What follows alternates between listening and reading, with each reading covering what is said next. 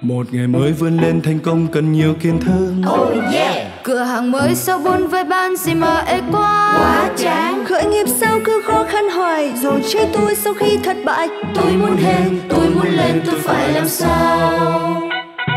Chẳng phải lo ta vui ta tươi ta cùng cố gắng. Cố gắng. Chẳng phải lo ta vui ta tươi ta cùng phấn đấu. Phấn đấu. Cùng vui tươi cho ta yêu đời rồi bán buôn cũng sẽ sinh lời. Thành người ra đời lên hương cả làng đều vui. Tài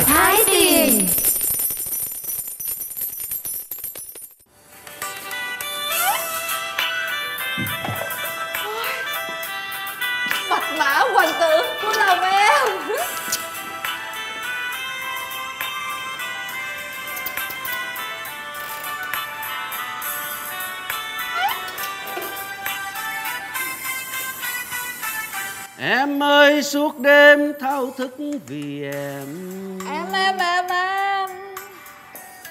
Vì lời ra từ lúc anh ra về. Về làm chi? Về làm chi? Nghe tới em đó. Ước nguyện tròn một đời là mình luôn luôn có đôi Có có có có có có.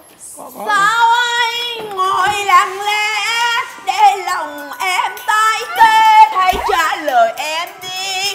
Nghĩ gì mà thèn thùng mình chung ước mơ. Bên nhau ta thầm hoa bên nhau ta thầm mơ. Anh biết chăng anh? Thương em nhớ em tất cả là em. Thôi đây Sao Sao mệt với người quá Tâm làm quá bể đáng không à. Ta đang ca, ta đang ấy ở đâu mà nhào vô mà có sẵn vậy? Đó Thiệt luôn sao? á. mấy người tệ lắm Ờ đang ở nhà buồn chết mở karaoke mà không rủ ai qua hết trơn giờ lấy lấy lấy đồ ra ngồi nhậu luôn nè nhậu hát luôn nè. Vô duyên quá đi. Tự nhiên à ta đang tận hưởng cái bầu âm nhạc. Để- để đi hết sức là trữ tình. Tự nhiên cái nhào vô đâm ban ba em nghe chị ở không mà cho nên nó kêu karaoke kêu chị á chị cũng thích ca lắm. Ờ. nè cảm gì à hoa hoa bạch mã hoàng tử tặng cho tươi đó. Bà em- ảo tưởng mơ mơ mơ. Dòm lại dòm lại cái gì trên tay em vậy? Bó hoa. Dạ mồng tơi á bà chị. Cái này nấu canh nè bà chị. Ê ê chúng ta sống một cú được luộc rồi ăn ngon. Cái này là canh nấu canh. Ủa anh tám sao tự nhiên anh tặng rau cho em là sao? Mà không phải là bó hoa ê khoan khoan khoan khoan. bây giờ để đây đi để đây tôi phân tích cho mà nghe. Bây giờ tôi thay lời muốn nói của đây đàn đó. nói qua là đây. qua đây qua, qua đây qua đây. Mấy cái chuyện phân tích mà tình cảm này là để tôi đây nè. Một bó hoa nói lên tất cả. Đúng không? Nào giờ cứ nghĩ là bên đó cứ bị ảo tưởng về sức mạnh đúng không? Cứ tưởng là được yêu đúng không? Bây giờ. mà là người ta tặng hoa là người ta có tình ý ta lãng mạn. Đúng rồi còn này Còn ta này- tặng rau tặng rau ý nói là cái gì? Út bẹp giải thích liền đi út bẹp. À, tặng rau ta nói đói ăn rau đau uống thuốc đó mà. Có nghĩa là nói nhà người này nghèo quá. Đói để nói Quá. rau. Ý thăm nho ý là nói chửi chị ế á, chị chị buôn bán buôn bán ế. ẩm. Nghèo Ơi. muốn nói ăn rau. Anh tám anh quá đáng với tôi lắm nha. Em nghĩ làm sao mà em nghe lời mấy thằng đó mà em không nghe anh? Chứ anh giải thích làm sao với cái bó rau hết chuyện tặng tặng bó rau. Ờ, Cô tặng cho cô cái gì nó cũng có ý nghĩa hết. Khoan tina hường khoan chờ chị chút xíu. Trời gì nữa? Khoan cưng. Ảnh mới nói là sao là kèo vậy? Thì khoan để coi. Để coi như thế nào. Mới nói là tặng cái gì cho cô cũng có ý nghĩa. Biết đâu. Làm gì vậy? Trong cái bó này nó có ẩn chứa một cái gì trong đó. Hiểu chưa? Ẩn chứa gì? Không lẽ kia tôi làm sinh tố rau tôi bán? Có dấu hiệu cái gì? Anh nói nhà anh quá đáng với tôi lắm nha. Buồn lắm nha gì thường á thường á ông tám mặc dù á là tôi với ông tám là không có thân nhau lắm. Ừ. Nhưng mà tôi phải công nhận một điều là ổng hay có những cái sáng kiến giúp người ta kiếm tiền lắm. Biết đâu cái bó bông này là bó ổng dạy mình kiếm tiền. Dạy cái gì rõ ràng tự nhiên lấy lá chuối rồi gói rau lại rồi chẳng khác nào nói là tôi ăn hết tất cả những cái này. Ăn lá chuối rồi ăn rau luôn tôi là trâu là bò đó. Hỏi đi biết là cách kiếm tiền sao? Qua hỏi à nhưng mà hỏi không thì cũng kỳ. Bây giờ biết coi biết coi biết coi để để để tôi để tôi. Tiền giận ha. Chân nhân bất lộ tướng ai một cái bó rau mà rất là thâm ha. Trong đây chắc chắn là phải có quyền cơ phải không anh chứ sao? Quyền cơ nó nằm chỗ nào vậy? Bao những cái gì mà tao tặng cho người khác là đều có ý nghĩa hết. Đều mang lại cho làm ăn phát tài phát đạt là xin lỗi anh nãy hiểu lầm anh tôi giỡn chơi thôi mà. Dạ dạ em à, em mời cà phê phin món đậm xanh đúng như gu của anh. Đúng không? Đúng, đúng, à, thử coi thử coi đúng không?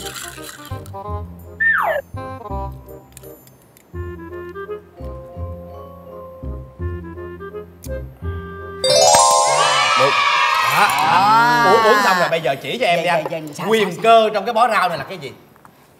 Cô hờ. Dạ. Cô nhớ lần trước không?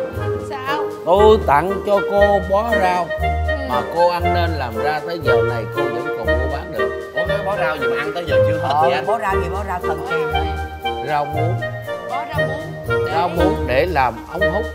À ống hút sinh thái phải ống không? tre ống tre để làm ống hút sinh thái. Tới bây giờ cô vẫn còn bán. Bán được lắm người ta mua quá trời luôn. Đó thấy không? À, bây giờ sao? Thì bây giờ cái này nó cũng có ý nghĩa. Ý nghĩa sao? Nghe tôi giải thích nè.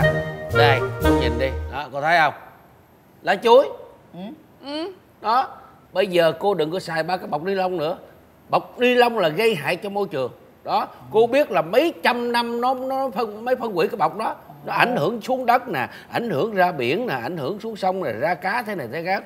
Bây giờ cô xài lá chuối này nè cô bán đồ cô chỉ ra đằng sau hè cô cắt lá chuối lá môn lá gì đó rồi một cái, cái gì cô gói được thì cô gói bằng lá À. có mua các cái siêu thị thành phố đó bây giờ người ta làm được lá gì là người ta gói lá đấy. Như tôi hồi nhỏ tôi biết mà thấy không? Người ta đi chợ người ta mua miếng thịt cái chặt cái bập cái, rồi cái lá chuối rồi cột cái cột cộng như lát vô. Mua cốm chùi mua bánh cam. Người ta bỏ vô lá môn người ta túm là người ta mua đưa cho mình. Đâu có xài ba cái bọc ni lông đâu. Thành thử nó đâu có ô nhiễm môi trường. Nó đâu có làm chết cá voi ngoài biển đâu. Phải không? Nhớ hồi xưa mình ăn bắp giả đó. Đúng Ừ. rồi. Em nhớ rồi hồi xưa á là mình ăn xôi á cái người ta gói bằng à, lá sen lá À. chuối. Trời thơm quá trời mà cái, cái nhớ ăn bắp không? Cái cái cây đó cái cái gọi là vậy gì dập dừa hả? Hả cái cái cây gì cây gì mà bơ sốt ăn đó? Cái cái bẹ dừa. Đúng rồi. đúng rồi làm cái muỗng luôn cái rồi. muỗng. nó thơm gì đâu. Bây giờ hả xôi á bỏ vô bao ni lông rồi hay là bỏ bọt mút rồi xong rồi hả ăn y như ăn rác vậy tôi chưa nói nha ba cái bao ni lông đó là nó có cái chất độc đó. Đó. đó mình ăn vô mình còn bệnh thêm nữa. Cô thấy con cá voi tổ bố vậy mà nó ăn bọc ni lông nó còn nổi phình lên nó chết cô thấy không? Đó bởi vì nó ô nhiễm môi trường là ba cái bọc ni lông đó. Thành thử bây giờ từ từ mình phải dẹp bỏ ba cái gì mà cái chất mũ mình sử dụng lại là cái chất lá cây. Ủa bây giờ anh chỉ em là Út ơi. làm giàu hướng nghiệp gì em có thấy làm giàu ơi. gì đâu? Không ông không làm cái giàu? này không phải chỉ tina. Út ơi. Út đây có út đây. Bây giờ tiếng tùng sẽ về tiếng tùng chặt lá chuối của mẹ tiếng tùng đem bán cho tina hưởng đúng. Ê, ê, ê, lá ê. môn luôn. Không không không không. Chuối bên đó môn bên đây. À. chúng ta nước sông không phạm nước giếng. Đúng vậy. Nương nhau mà sống. Yeah. Yeah. Ê, vậy là bây giờ là Tina không cần mua bao ni lông nữa. Đúng. Ơi. Bao ni lông em mua một ký cũng mấy chục ngàn phải không? Đúng rồi. chị la môn. À, đây lá chuối. Dạ. năm ngàn ký thôi. Đồ đem mà có rẻ cho em. Vậy là nhất định phải bán cho em đó nha. Dạ, ờ. em sẽ bỏ tiền ra mua lá môn lá chuối của hai người nha. Yên tâm giờ về chặt liền. Dạ, đi. Đỡ quá tiết kiệm được 15 ngàn một ký chết gì. Ủa anh anh em có có vườn môn với vườn chuối mà sau nhà mà? Vậy thì mình ra mình cắt mình khỏi tốn tiền. Ờ, bắt gì mua có hai người đó chi vậy trời. Ê!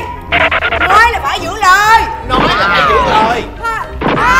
Kệ kệ kệ. Mua đi mình đem ra chợ mình bán lại cho người khác. Đó, ờ, mình có lợi thêm yeah.